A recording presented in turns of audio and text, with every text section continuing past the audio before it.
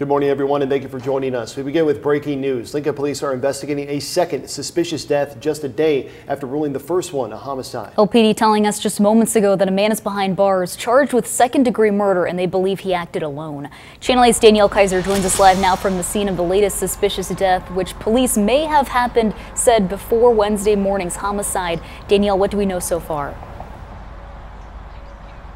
Andrew and Katrina, I'm here at Northwest in 12th Street, just outside the Motel 6, where Lincoln police tell us they are investigating yet another suspicious death.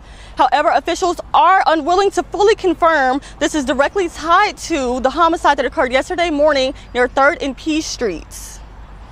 We do know that the 55 year old William Wright is behind bars right now in connection with the murder of 61 year old Ronald George, who was found dead yesterday morning around 2 a.m. with knife cuts to his neck. Again, Lincoln Police Chief Teresa Ewins cannot say the death here at 12th and Bond is connected to the homicide investigation at this time, but she does say there is no current threat to the public. Obviously, you know, two deaths is is tragic. Uh, this is not something that I think Lincoln is used to, and I understand that. Um, no matter what, it's not easy to take, but we don't believe that there is any public safety concerns right now. Ewins did say the suspect is cooperating with authorities, but she cannot reveal anything about his possible relationship with anyone involved.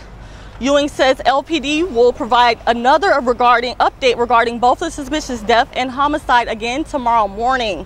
Until then, police will continue collecting evidence and interviewing while also re requesting tips and video from the community.